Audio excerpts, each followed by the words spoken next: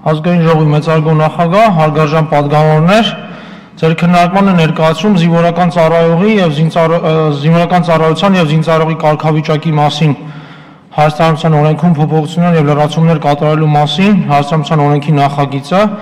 որի համաձայն հստակեցվում են Պարտադիր զինվորական ծառայության զորակոչի եւ Պայմանագրային զինվորական ծառայության կազմակերպման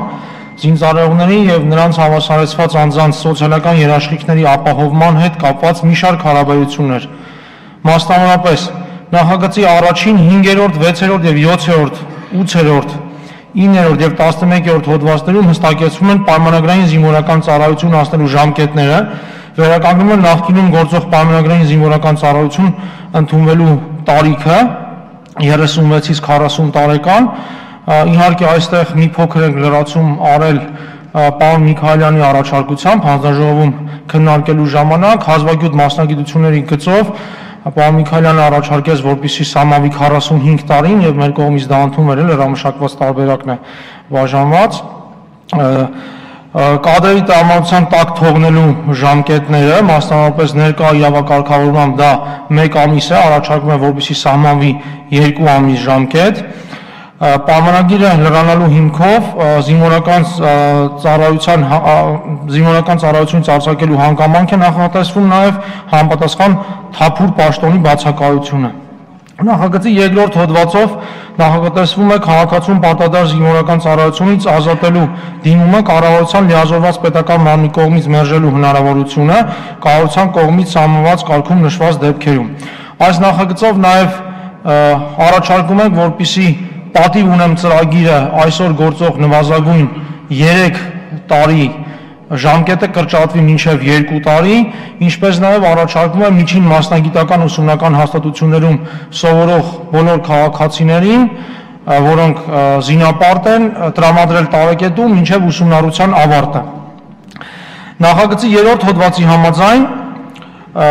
ինչպես ասացի, այդ տարեկետումն է տրվում, Նախագծի 4 հոդվածով նախատեսվում է միանշանակ նախատեսվում է, որ միաժամանակ զորակոչվող եղբայրների կողմից նույն զորամասում ծառայություն ծառայության նշանակվելու ցանկության դեպքում վիճակահանությանը մասնակցում է միայն մեկ եղբայրը, իսկ ծառայության մեջ գտնվող եղբայր ունեցող զորակոչիկը եղբոր ծառայության վայր կարող է նշանակվել, եթե բավարարում է տվյալ զորամասում ծառայության նշանակվելու պայմաններին օրինակ առողջական վիճակը, պատվոպահակային վաշտի ծառայողին ներկայացվող պահանջները, նվագախումբը եւ այլն։ Նախագծի 10-րդ հոդվածի համաձայն պատերազմական ժամանակի հաստիկների կցագրված քաղաքացիների հետ հաստիկով նախատեսված պարտականությունների ներգրավման պայմանագրի ժամկետը սահմանվում է 1 տարի գործող 3 ամսվա փոխարեն սա ակտիվ պահեստազորի մասին է խոսքը։ Նախագծի 12-րդ հոդվածի համաձայն սպաների համար սահմանված մատչելի եւ երկարաժամկետ հիպոթեկային վարկավորման ծրագրին ընդգրկվելու հնարավորություն է ընձեռվում նաեւ ավագ ենթասպայական կազմի զինծառայողներին։ Նախագծի 13-րդ հոդվածով հստակեցվում է մարտական գործողությունների մասնակից մասնակցի կարգավիճակ տալու ընթացակարգը։ Նախագծի 14-րդ հոդվածի համաձայն զինծառայողների բնակարանային ապահովության իրավունքի շրջանակներում վերացվում է արկա թեր կարգավորումը,